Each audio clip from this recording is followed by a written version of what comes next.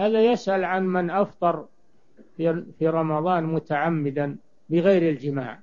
أفطر بالأكل والشرب متعمدا. هذا عليه التوبة إلى الله عز وجل وعليه قضاء اليوم. وليس عليه كفارة. الكفارة إنما هي في الجماع الإفطار بالجماع. ولم ترد الكفارة للأكل والشرب. وإنما عليه التوبة وعليه القضاء. نعم.